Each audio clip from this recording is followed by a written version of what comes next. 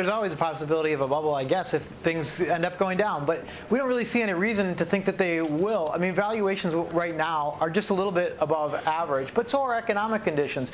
There's no recession in China, guys. And, when, we, when you just walk around the street in China, there's a very high degree of optimism, and there's also very low interest rates that probably justify somewhat uh, higher than normal PE ratios relative to historical norms.